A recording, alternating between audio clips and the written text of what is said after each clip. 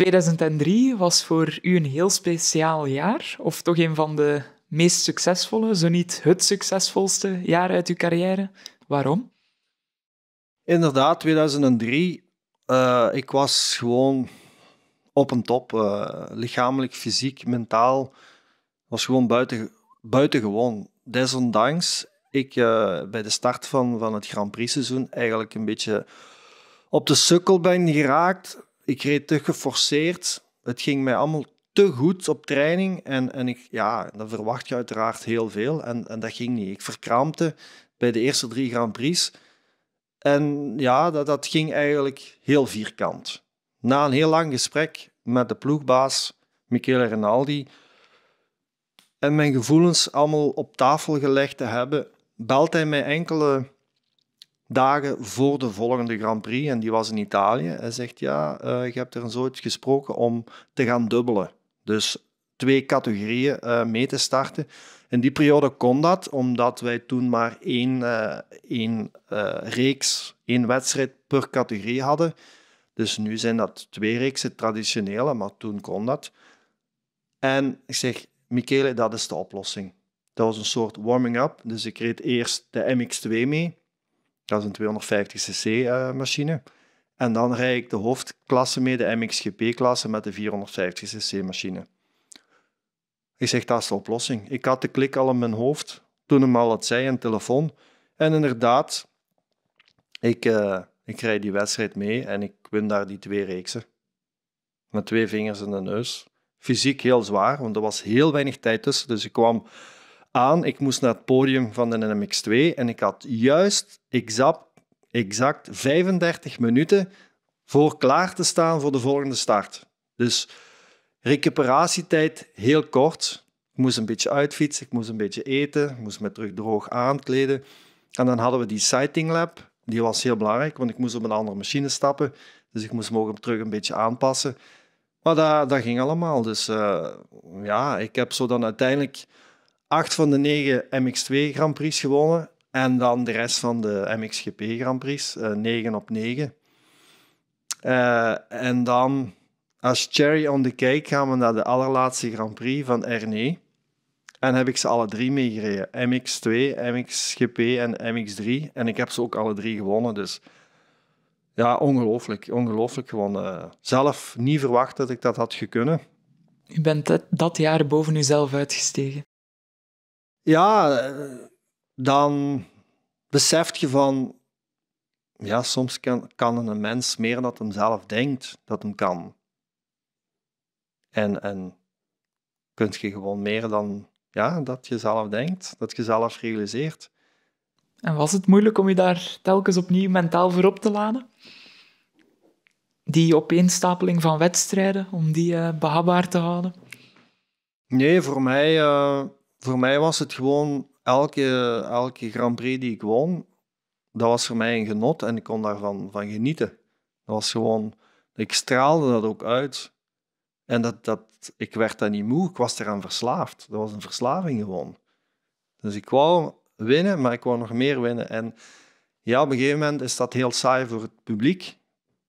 Dan zal het maar dezelfde wint. Dat is zo. Maar ik, dat was ver van mijn bedshow. Voor mij, ja, dat interesseerde mij niet. Ik wou gewoon uh, iedere keer de concurrentie op een hoopje kunnen rijden. En iedere keer is dat een nieuwe uitdaging. Dat is iedere keer een nieuw circuit. Ja, dat is like een puzzel die je iedere keer moet samenleggen. Van, het verveelt nooit. Dat verveelt nooit. En je moet altijd het beste van je eigen zien, zien te vinden. En, en ja, ook, ja, elke wedstrijd is anders. Ik bedoel, iedere dag staat je op met een ander gevoel.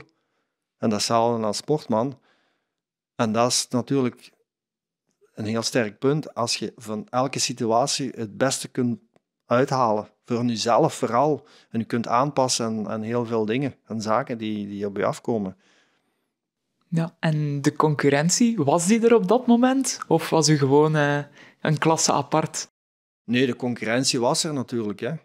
Um, die stonden ook scherp hè, om, uh, om, te, om te winnen.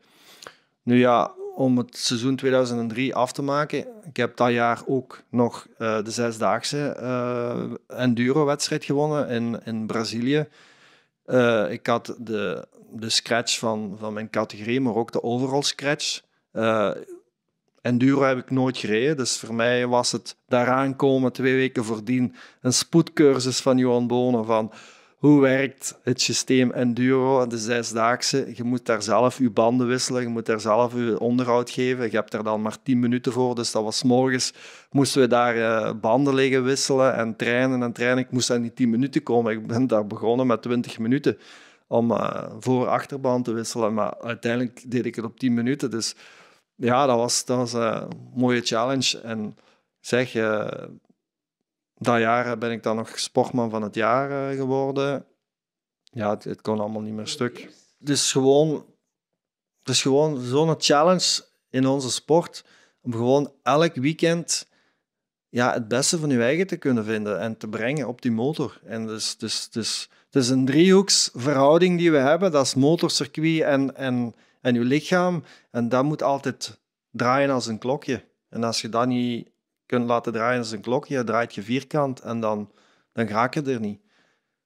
En, en als sportman, sportvrouw, dat is juist het moeilijkste om, om u daar leren zelf, die zelfbeheersing te krijgen over uzelf, uw lichaam, over uw gedachten. Uh, ja, over van alles en wat. En, en dat, is, dat is gewoon, dat was voor mij gewoon altijd die uitdaging op een gegeven moment. Maar ik kon daarvan genieten.